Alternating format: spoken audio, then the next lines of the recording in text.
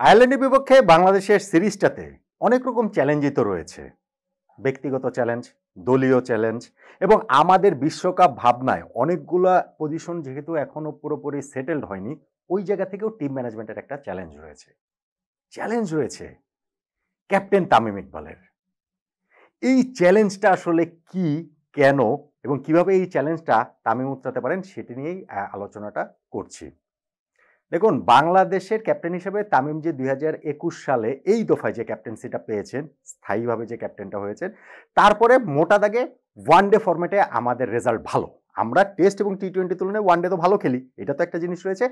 এই জায়গাটাতে আমার একটা চ্যালেঞ্জ ছিল, বিশ্বকাপ যেহেতু একটা বাছাই পর্ব রয়েছে, সেই বাছাই পর্ব উত্তরে বাংলাদেশকে সরাসরি ওয়ার্ল্ড কাপে কোয়ালিফাই করার ক্ষেত্রে, এবং সেই জায়গাটাতে আমরা অনেক আগে কোয়ালিফাই করে ফেলেছি। ইনফ্যাক্ট আয়ারল্যান্ডের বিপক্ষে এই সিরিজে যদি আমরা তিনটা ম্যাচ জিতি, এমন হতে পারে যে আমরা বাছাই পর্ব শেষে একদম উপরের দিকে আমাদের অবস্থান থাকবে বাংলাদেশের। সো তার ক্যাপ্টেন্সির ওই জায়গাটা নিয়ে খুব একটা প্রশ্নের সুযোগ নাই।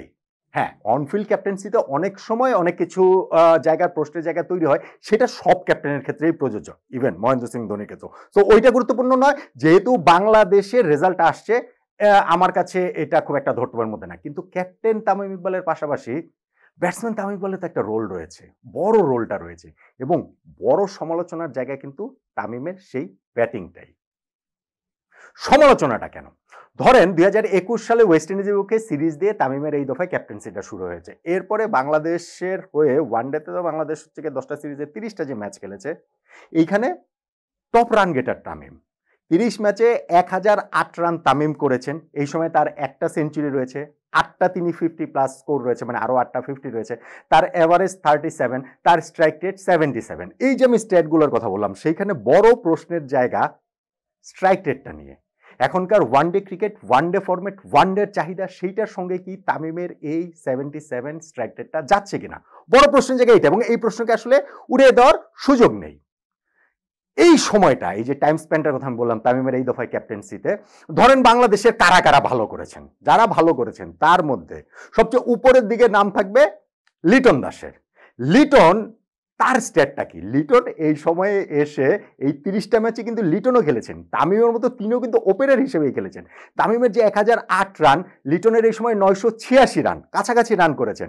তামিমের একটা সেঞ্চুরি লিটনের দুইটা সেঞ্চুরি আবার লিটনের ছয়টা ফিফটি তামিমের আটটা ফিফটি মানে তামিমের নয়টা ফিফটি প্লাস ইনিংস লিটনের আটটা ফিফটি প্লাস ইনিংস কাছাকাছি।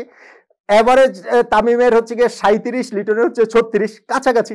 স্ট্রাইক রেট যেটা নিয়ে সবচেয়ে বড় কথাবার্তা হচ্ছে, সেটা তামিমের হচ্ছে সাতাত্তর, লিটনের হচ্ছে গিয়ে একাশি। পার্থক্যের জায়গা তো খুব একটা নেই।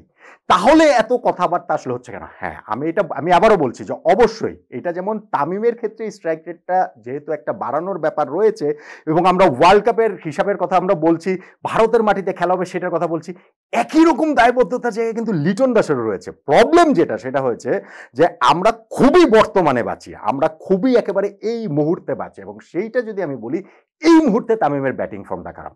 ধরেন ঘরের মাটিতে আমরা যে দুটো সিরিজ খেললাম, ইংল্যান্ডের এগেনস্টে এবং হচ্ছে কি আয়ারল্যান্ডের এগেনস্টে এই দুটো সিরিজে তামিমের ব্যাট হাসেনি। ইংল্যান্ডের বিপক্ষে যে তিনটা ম্যাচ তামিম খেলেছেন, সেই তিন ম্যাচ মিলিয়ে তিনি করেছেন তেইশ, পঁয়ত্রিশ, এগারো, তিন ম্যাচ মিলিয়ে মাত্র উনসত্তর রান। আবার আয়ারল্যান্ডের বিপক্ষে সিরিজের প্রথম দুটো ম্যাচে তিন এবং তেইশ রান করে আউট হয়েছেন। লাস্ট ম্যাচটাতে শুধু তিনি একচল্লিশ রানে নট আউট ছিলেন।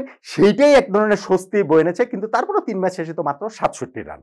সো এই সাম্প্রতিক সিরিজগুলোতে যেহেতু তামিমের ব্যাটটা হাসেনি সেভাবে, সেই কারণে এই সমালোচনাটা আরও প্রবল হয়েছে কিন্তু। তো আয়ারল্যান্ডের বিপক্ষে এই সিরিজটা তামিমের জন্য গুরুত্বপূর্ণ। বাংলাদেশ দলের জন্য বিশ্বকাপ প্রস্তুতির ক্ষেত্রে যেমন গুরুত্বপূর্ণ, তেমনি তামিমের ব্যাটসম্যান তামিমের জন্য গুরুত্বপূর্ণ। ফর্মে ফেরার জন্য গুরুত্বপূর্ণ স্ট্রাইক রেটটা যথাযথ জায়গায় নিয়ে যাওয়ার জন্য গুরুত্বপূর্ণ এবং আমার কাছে আরেকটা গুরুত্বপূর্ণ জিনিস যেটা মনে হয় টিমে তার রোল যেটাই থাকুক, যেটাই হচ্ছে গিয়ে পুরো টিম পরিকল্পনা অংশ হিসেবে থাকুক সেঞ্চুরি তিনি পাচ্ছেন না অনেকদিন। So one day opener century পাচ্ছেন না, সেই জিম্বাবুয়ের এগেনস্টে দুই হাজার একুশ সালে জুলাইতে সেঞ্চুরি পেয়েছেন, প্রায় দুই বছর আঠারোটা ওয়ান ডে সেঞ্চুরি পাচ্ছেন না।